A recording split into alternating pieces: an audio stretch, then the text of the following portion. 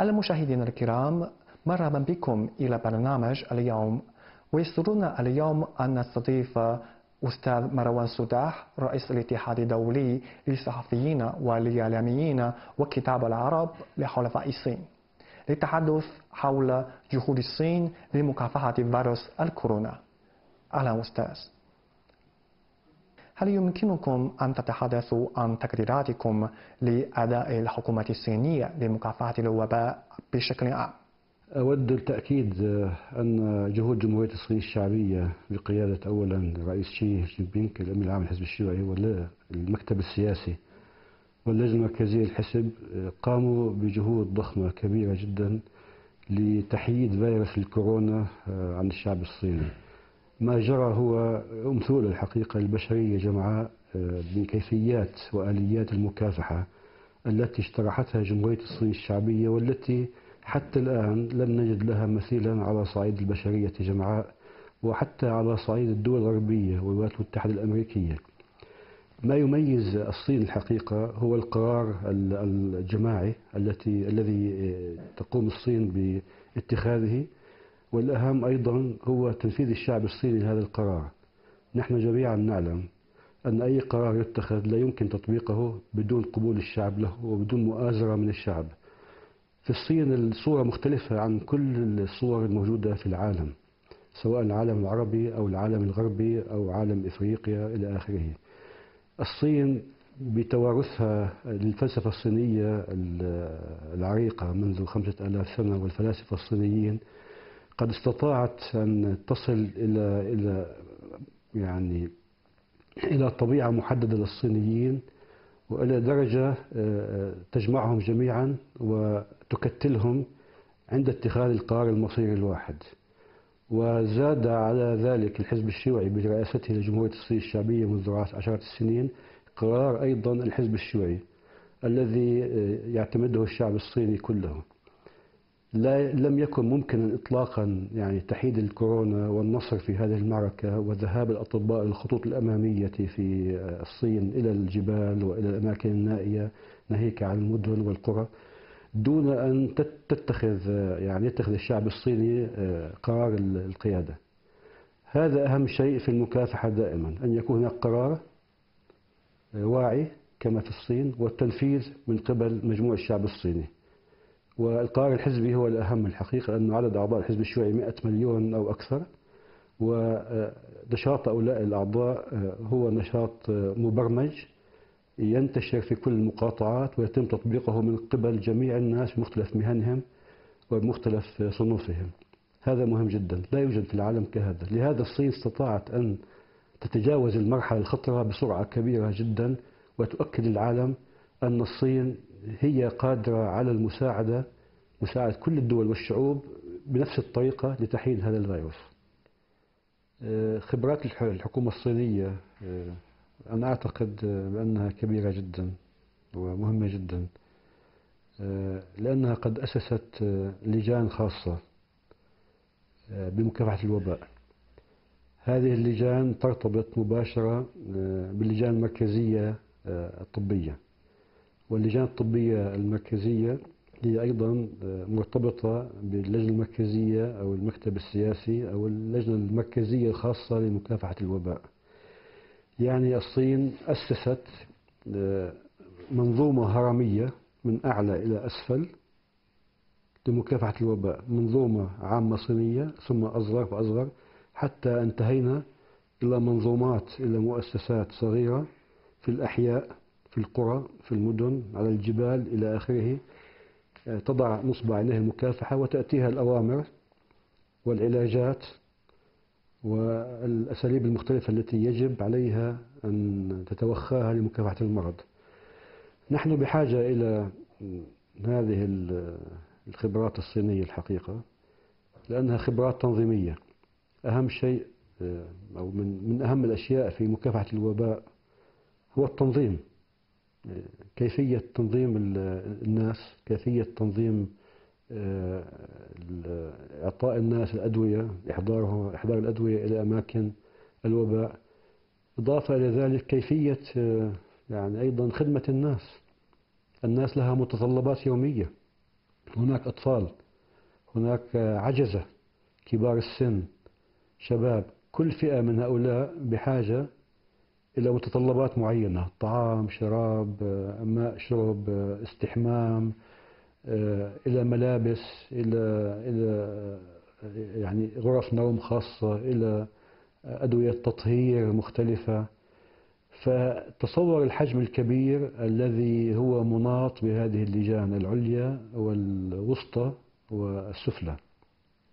هو حجم كبير جدا لا يمكن أن تقوم به إلا دولة لديها خبرات كبيرة ومؤسسات لها باع طويل في تاريخ هذا البلد كالصين.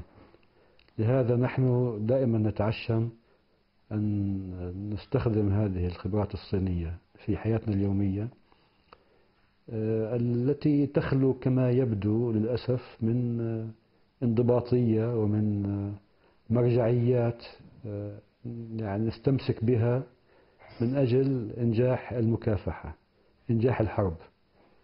الدولة التي تحترم نفسها يجب أن يكون عندها انضباط يجب أن يكون عندها آليات محددة وخطط مسبقة تطبق في أوقات الأزمات دائما.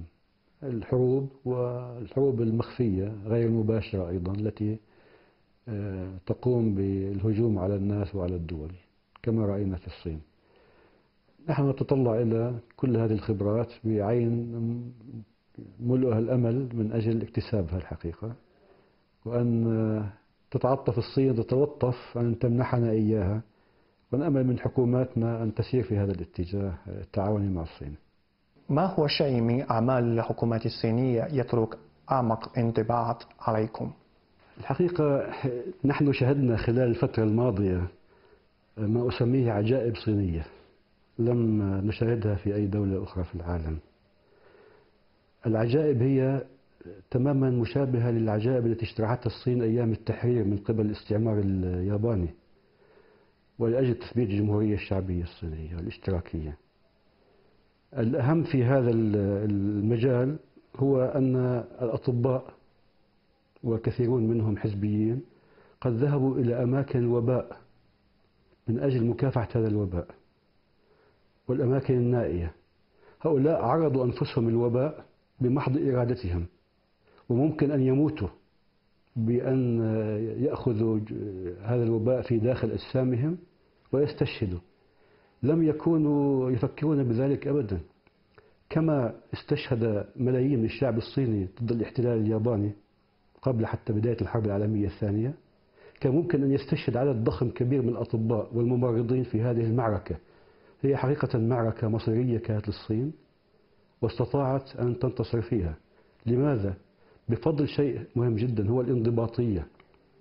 الشعب الصيني قد تعلم من الحزب الشيوعي الانضباطية وينفذ هذه الانضباطية بغض النظر عن مصالح الأفراد. الأفراد يعني هم مجيشين دائما لخدمة الشعب تنفيذ القرار. بغض النظر سيموتوا أو لا يموتوا لا يفكرون بذلك أبدا. حتى المواطنين العاديين. عندما كان جزء من العائلة موجود خارج المستشفى مثلا في وهان أو أو داخل مستشفى وهان الذي تم إقامته بصورة سريعة جدا خلال أسبوع أو عشرة أيام كانوا يتحدثون مع بعضهم البعض من مسافات يعني قريبة جدا ولا يلمسون بعضهم البعض. لماذا؟ كان هناك قرارات موجودة في هذا المجال وهم كانوا على وعي تام بكيفيات انتقال المرض إليهم. لهذا الكل نفذ هذه القرارات.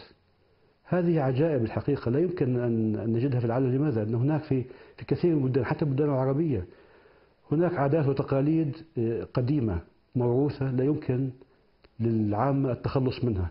وهذه العادات هي التي تنقل المرض المصافحة الحارة القبلات إلى آخره.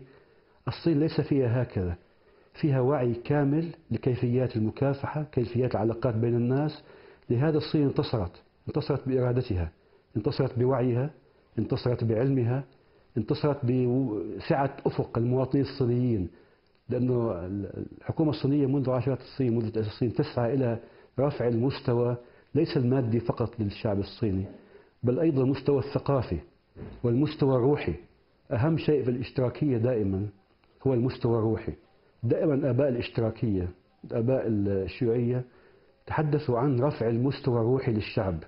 هذا المستوى الروحي هو الذي الآن كان كامنا في كل فرد صيني سواء طبيب أو قائد حزبي أو أو فلاح أو عامل.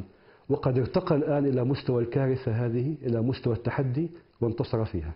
وقيادة الحزب هو الإنسانية الطبائع الإنسانية عند القياديين في الصين.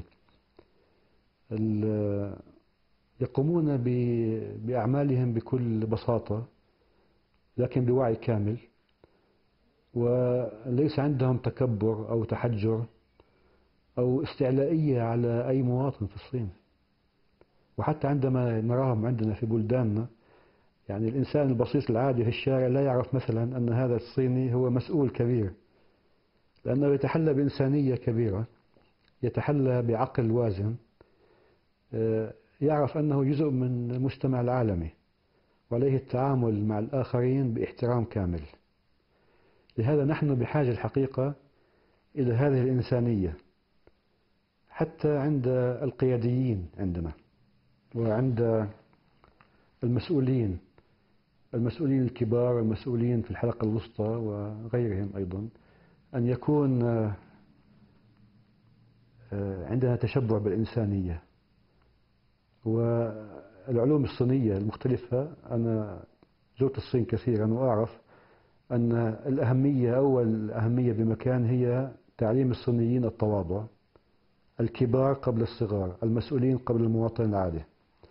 لهذا الصين بين فترة وأخرى تكافح الفساد تكافح آه، آه، عمليات الغش تكافح أشياء كثيرة وتعلم أبنائها أن يكونوا متواضعين. ما هو تقديراتكم عن أداء الأطباء الصينيين؟ الحقيقة أنا لم أقرأ في حياتي أبدا أن هناك ولو مستشفى صغير تم إقامته خلال أسبوع أو عشرة أيام في أي دولة في العالم. ماذا يعني ذلك أن تقيم الصين مستشفى خلال أيام بسيطة وفي محنة حقيقية تعيشها الصين؟ هذا يعني أن الصين عندها مخططات مسبقة للأزمات. في الأدراج الصينية في الخزائن الصينية يوجد خطط جاهزة للتطبيق لمواجهة أي مشكلة تعترضها الصين. وهذه المشكلة الكبيرة هي حرب. حرب كادت أن تقتل ملايين لكنها لم تستطيع أن تقتل ملايين كان هناك وما يزال موجود يوجد في الخزائن الصينية وخزائن الحزب في الصين مخططات متكاملة وهناك أناس يشرفون عليها ويقومون بتحديثها دوما لمجابهة أي مشكلة في الصين. حتى لو كانت حرب نووية. الفيروس هو حرب نووية لكن ليس في قنبلة نووية. لكنهم انتصروا على ذلك لأن هناك آه، دراسة مسبقة لكل هذه الأمور. ما هو تقديراتكم عن الإنجازات التي تشهدها الصين في مكافحة الوباء؟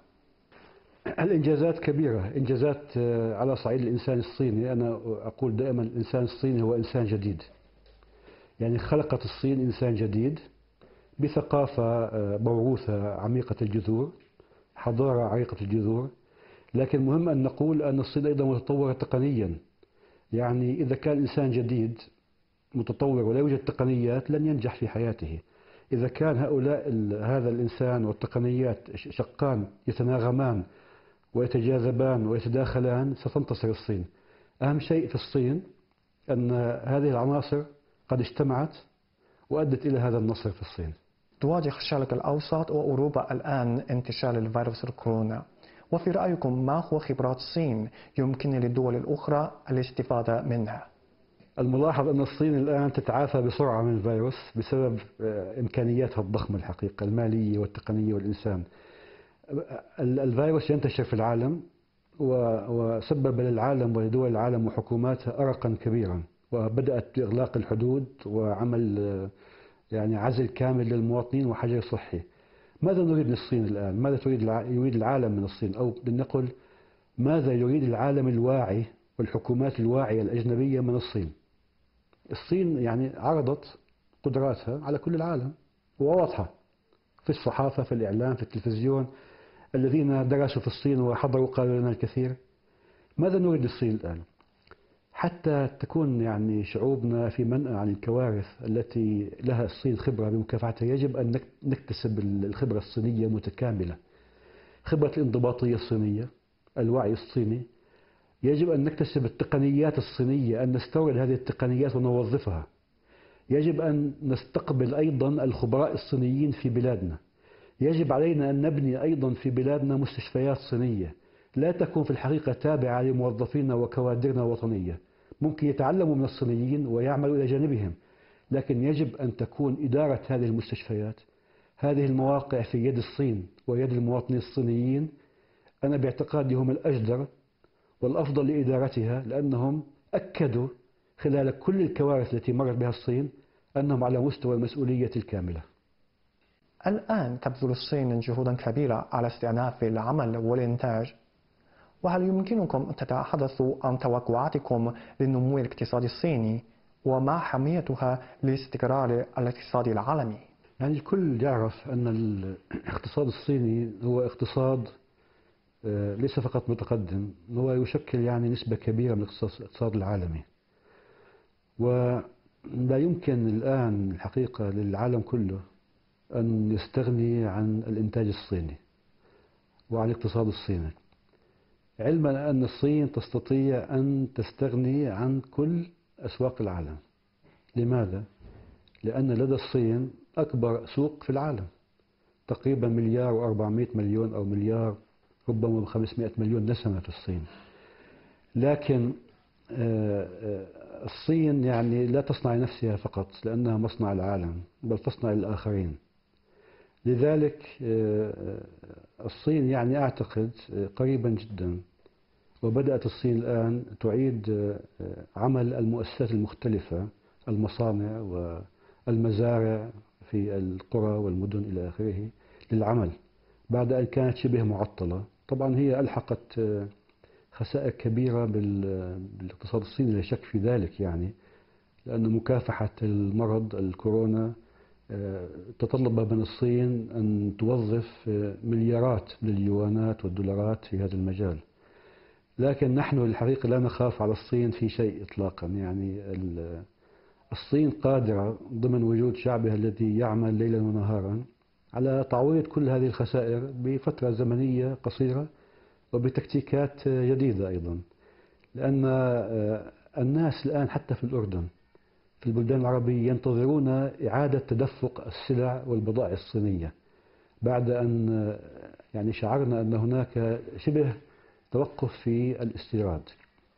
وبعد أن شعرنا أن بعض الدول للأسف الشديد ومنها الغربية آه، تحاول أن تبعد الصين عن آه، أو تحاول أن تبعد الناس عندنا عن الصين وعن آه، الإنتاج الصيني. فمن المهم على الصين الآن أن تعيد إرسال بضائعها إلينا لأن المواطن الأردني والعربي قد اعتاد على البضائع الصينية. وحتى في الأردن تشهد وجود محال في كل مكان يعني في منطقة واحدة تجد محل محال كثيرة لبيع البضائع الصينية. والناس تشتري لماذا؟ ليس فقط لأن البضائع رخيصة. بل الحقيقة الآن بدأت الصين تصدر كواليتي نوعية أفضل من البضائع للاستهلاك الخارجي للمجتمعات العربية والأوروبية. والأوروبية من زمان الحقيقة تجيها يعني تأتي لها بضائع على مستوى عالي. لكن نحن نثق ثقة كاملة أن الصين في في خلال شهر على الأغلب ستعوض هذه الخسائر كاملة وستعيد وجودها في آه، مختلف البلدان والأسواق العربية والعالمية. أرسلت الصين فرقة طبية إلى الدول المنكوبة مثل إيران. ففي رأيكم ما هو الدور لهذه الفرقة الطبية؟ الحقيقة الصين فعلت خيرا بأنها تحاول الآن أو بدأت بمساعدة آه، جمهورية إيران الإسلامية ضد وباء الكورونا. الجميع يعلم أن إيران في مشكلة كبيرة تعاني. هي أنها آه، محاطة بعقوبات اقتصادية آه، وغيرها أمريكية وغربية. وهذا يمنع على إيران استيراد آه، ربما الأدوية ربما الأجهزة المختلفة للتصدي للمرض. إيران عندها خبرات طبعا كبيرة لكن الصين عندها خبرات أكثر في التصدي لمرض الكورونا لأنها عايشت هذا المرض خلال فترة يعني غير قصيرة. وصل الأطباء الصينيون والخبراء إلى إيران وبدأوا بمساعدة إيران. مساعدة إيران من قبل الصين تعني شيئا مهما في الشرق الأوسط. نجاح الصين في إيران يعني الكثير بالنسبة لنا لأنه سوف يلفت نظر شعوبنا إلى الخبراء الصينيين والخبرات الصينية والطب الصيني. بالمناسبة الطب الشعب الصيني كان له باع كبير في معالجة مرض الكورونا أيضا. يعني الطب حتى الصيني ممكن نحن نقوم بطلب من الصين أن نطلع على هذا الطب الشعبي وأن نفعله في حياتنا اليومية. الآن إيران تستخدم الأدوية الصينية والعقاقير الصينية والأجهزة الصينية وإن شاء الله إيران تتعافى لأنه الصين مهتمة بحصر المرض في العالم وليس محاصرته فقط في في داخل الأراضي الصينية. حصر المرض في العالم هو ليس انتصار فقط للصين أو داخل الصين هو انتصار للسياسة الصينية العالمية للسياسة الإنسانية الصينية تجاه كل الشعوب لأن الصين عانت في حياتها من الموت ومن القتل ومن الجوع ومن الحصار ومن أشياء كثيرة فرضتها القوى الغاشمة الأجنبية عليها. الآن بدأت الصين تساعد العالم في الطب أيضا ليس كالسابق في الاقتصاد في الزراعة في حقول كثيرة. هذا شيء مهم جدا لأنه كانت أمريكا تفرض بايكوت حظر على تصدير العلوم الطبية الصينية والأدوية الصينية للعالم وتحتكر أمريكا وبعض الدول الأخرى تصدير الأدوية إلينا. الآن الصين أثبتت أن لديها الدواء الشافي ولديها حتى الدواء الشعبي الشافي ليس فقط الدواء الكيماوي الشافي. لهذا نحن مهتمون جدا بوجود الصينيين في إيران لنكتسب هذه الخبرة المطبقة خارج الصين قال بعض وسائل الإعلام الغربية إن الصين يجب عليها الاعتذار على انتشار فيروس كورونا وما رأيك عن هذه الكلمة؟ أنا أضحك عندما أسمع هكذا هكذا يعني ادعاءات غربية ومطالب غربية بأن على الصين أن تعتذر، لماذا يجب أن تعتذر الصين؟ هذا الفيروس لم يكن أحد يعلم بأنه سوف يعني يضرب الصين. ولو كانت الصين تعرف ذلك لكافحته قبل أن يظهر. لكن هذا أنا قرأت في بعض الصحف الغربية عن هذه المطالبات. هي مطالبات أنا آسف أن أقول أنها مطالبات غبية جدا. وإنما تعكس هذه ما يمكن أن نسميه الاستعلائية الاستعمارية الغربية على الصين وعلينا. ما زال هناك في الغرب يعني قيادات ومعاهد ومؤسسات تعتبر أن الصين دولة صغيرة ليست كبيرة رغم من سكانها الكثر وملحقة بالدول الغربية. حتى الآن الدول الغربية أو أمريكا لا تستطيع أن تستوعب أن الصين دولة كبيرة مستقلة متحررة وعندها إمكانيات ضخمة. يعني لو هذا المرض ضرب أمريكا لن تستطيع أمريكا أن تفلت بدون خسائر كبيرة جدا كما يقول لنا التاريخ بالأمراض الأخرى التي ضربت أيضا الأراضي الأمريكية. ما يقولونه في الغرب يعني أنا أدعو فقط الغربيين إلى التبصر والتمعن في كلامهم أولا. ودراسة كل كلمة يقولونها قبل أن يصرحوا بها. وأن لا يكونوا استعلائيين على العالم. لأن الصين تحوز على إعجاب العالم وعلى تأييد العالم ولن يستطيعوا أبدا بهذا الكلام الهراء أن يبعدونا عن الصين. الصين لا تحتاج لأن يعني تقول آسف لأحد أبدا لأنها تناضل الآن لإنقاذ شعبها. وقريبا باعتقادي سوف يظهر تظهر الحقيقة للبشرية جمعاء حول هذا الفيروس ومن الذي أقام هذا الفيروس. الشعب الصيني وقع ضحية هذا الفيروس.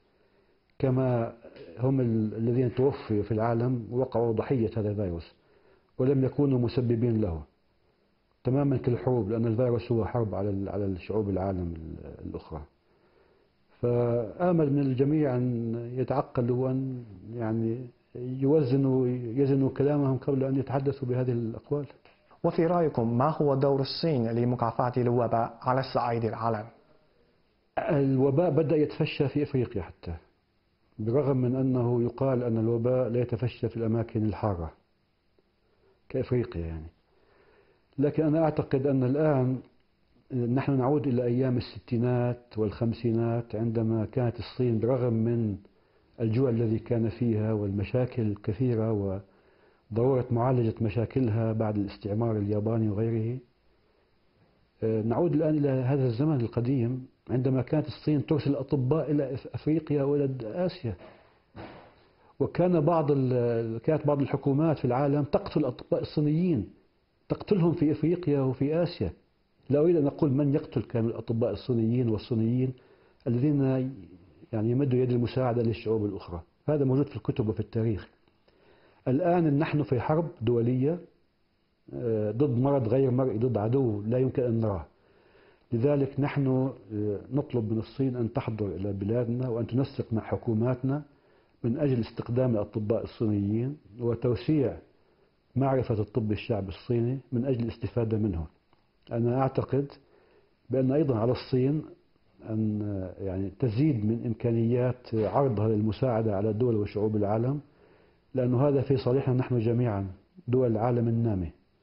أن نتكاتف الآن بالذات وأن نقوم بيد واحدة لمكافحة هذا العدو الخطير الذي يتربص ليس بنا فقط بل بأوروبا الغربية وبأمريكا وبأمريكا الجنوبية وبالأغنياء قبل الفقراء أيضا هل عندكم أي اقتراحات لتعاون دولي لوقاية أمراض وعلاجها؟ أنا أعتقد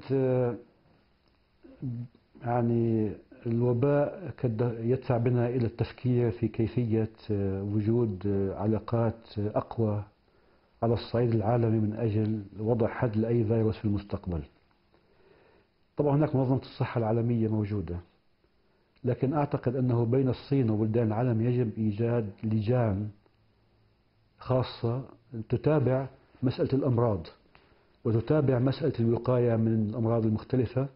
لهذا أنا أدعو الحقيقة إلى وجود آه، لجان خاصة أردنية صينية وعربية عامة صينية لمتابعة آه، أي مرض قد ينتج قد يظهر في الساحة الدولية أو في الصين أو في الدول العربية من أجل تكثير الجهود لمحاربته لماذا؟ لأنه عندما يعني تكون هناك لجنة ثنائية أو جماعية ممكن بسهولة آه، أن تدرس الأمور الأمراض المختلفة وأن تصل بجهود جماعية إلى استنتاجات للقضاء عليه بسرعة أكثر. وأن تكون يكون القضاء هذا سريعا ليس في بلد واحد بل في مختلف البلدان في يعني ضمن زمن محدد. هذا مهم جدا وهو مهم جدا أيضا. يعني تبادل الخبرات العملية الطبية الآن بين الدول وإنشاء مجالس خاصة للتعاون في هذا المجال.